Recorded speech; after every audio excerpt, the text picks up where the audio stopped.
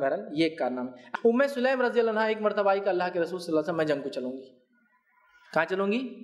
जंग के लिए चलूँगी। जंग में जा रहे थे। और इस्लाम ने औरतों को मिलिट्री सर्विस की इजाज़त 1450 साल पहले दी। अमेरिका ने पहली बार दुनिया में इसकी इजाज़त दी 1876 में। इस्लाम बहुत एडवांस है, दुनिया की सारी एडवांसमेंट्स 1450 साल पहले का औरत जा सकती? इन्होंने जो कहा, मैं चलूँगी, साहब। आप सल्लल्लाहु अलैहि वसल्लम कहा कि तुम नहीं चल सकती। क्यों नहीं चल सकती? क्यों नहीं चल सकती? हमल का आखिरी महीना है प्रेगनेंसी का लास्ट मंथ है। और बोलती, मेरे को चलना ही है। कितने फिट रहे होंगे? अंदाज़ा लगाइए आप। यहाँ तो प्रेगनेंसी का पहला मंथ है तो बिस्तर पर पड़े हुए तो पैदाइश तक बिस्तर पे पड़े हुए और पैदाइश भी नहीं हो रही सीजरियन करके निकाल लेना पड़ रहा। फिट फिटनेस का चूँकि लेक्चर है तो फिटनेस देखिए अभी। वो जो जज्बा, वो सब छोड़ दीजिए फिटनेस कितने फिट होंगे कि ये कंडीशन है बोलते हैं मैं चलूँ। आपने कहा नहीं तुम नहीं चल सकती। बहुत जिद की। रोने लगी कहा नहीं नहीं नहीं नहीं, नहीं मनाना नहीं।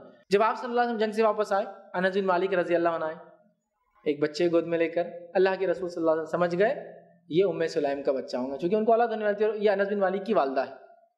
तो उन्होंने फिर दुआ की वाकई पूरा वाक़ आप जानते हैं खजूर खाया और मुँह में लगाया बच्चे के नाम अब्दुल्ला रखा ये वो वाक़ तो आप देखिए जंग पे जाके आने में फिफ्टीन ट्वेंटी डेज़ में औलाद होगी। मतलब कितने लास्ट पीरियड में थी लेकिन फिजिकली फिट है, उनको कोई परवाह नहीं उस चीज़ से।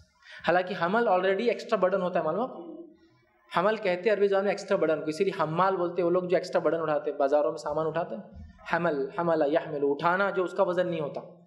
उस हालत में भी देखिए कितनी फिजिकली फिटनेस मैं बताना चाह रहा हूँ, कितनी फिट थी वो।